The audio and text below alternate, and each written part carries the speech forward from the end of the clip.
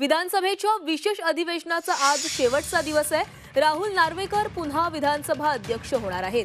आज त्यांच्या नावाची औपचारिक घोषणा होणार आहे. तर दुसरीकडे संसदेच्या हिवाळी अधिवेशनामध्ये आज one nation one election bill सादर केलं जाणार आहे. त्यामुळे विरोधकांची काय भूमिका असेल याकडे लक्ष लागलेलं आहे.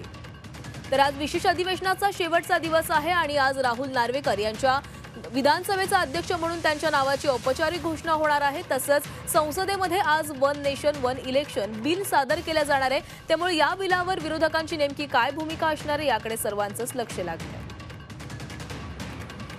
आहे विशेष अधिवेशनाचा तिसरा आणि शेवटचा दिवस आहे. त्यामुळे आज काही आमदारांचा शपथविधी देखील पार पडणार आहे. उर्वरित काही आमदार राहिलेले आहेत. शपथ घेण्याचा त्यांचा शपथविधी पार पडेल.